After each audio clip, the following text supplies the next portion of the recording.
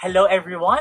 Welcome back to my channel. On our previous video, pinag-usapan natin ang subtraction of two numbers when minuend is negative and greater than subtrahend. Kung hindi pa ninyo napapanood ang video na ito, mas makabubuting panoorin mo na ito bago mag-proceed sa video na ito. Ilalabas na link sa bandang itaas ng screen para mapanood nyo ito. Ngayong araw naman ay pag-uusapan natin ang subtraction of two numbers when minuend is negative and less than the subtrahend. Para mas madali nating maintindihan ang lesson natin sa video na ito, mas makabubuting magkaroon tayo ng dalawang cases. Case number 1, subtrahend is positive. Case number 2, subtrahend is negative. Simulan na natin. Para sa case number 1, narito po ang ating rule. Disregard the negative sign of the minuend.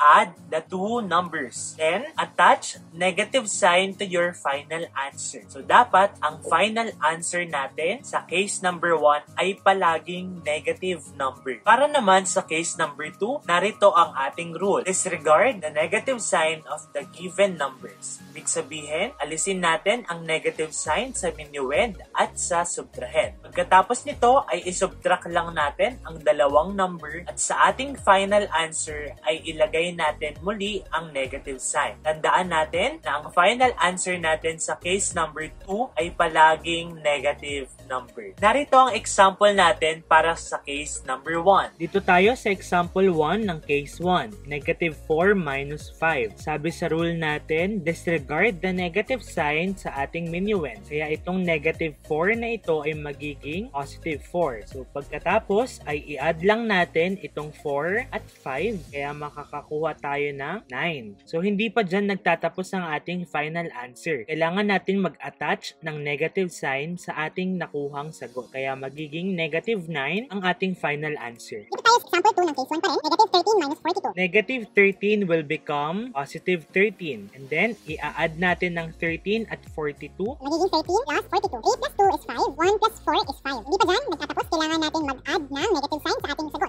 Kaya magiging negative 55 ang ating final answer. Next, example 3 is 1, negative 138 minus 23. Again, disregard natin ang negative sign sa ating minuend kaya magiging 138 na lamang ito. And then, i-add natin ang 138 at 23. Inag natin ang 138 at 23. 8 plus 3 is 11. 1 plus 3 is 4 plus 2, 6. Then bring down 1. Hindi dyan nagtatapos, kailangan natin maglagay ng negative sign. Kaya magiging negative 161 ang ating final answer sa example number 3, case 1. Narito naman ang example natin para sa case number 2. Example number 1 natin ay negative 3 minus negative 1. Again, sabi sa rule, disregard natin ang negative sign ng dalawang number kaya magiging 3 at 1. Ngayon, ang gagawin natin ay isusubtract natin ang 3 at 1. 3 minus 1 is equal to 2. Pero hindi dyan nagtatapos ang ating sagot. Kailangan natin maglagay ng negative sign sa ating final answer. Kaya, ang final answer natin dito ay negative 2. Dito tayo sa example number 2 is number 2 pa rin, negative 35 minus negative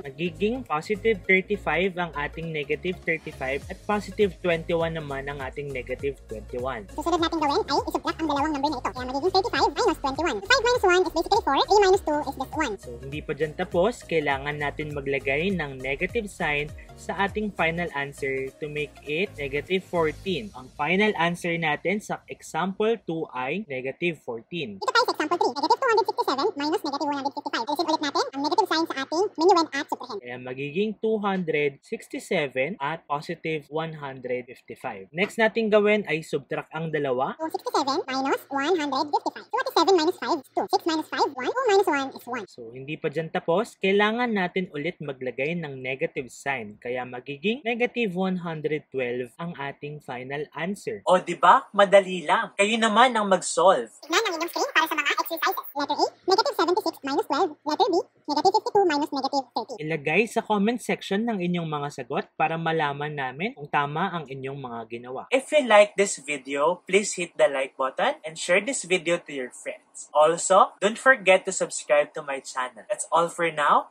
Thank you for watching.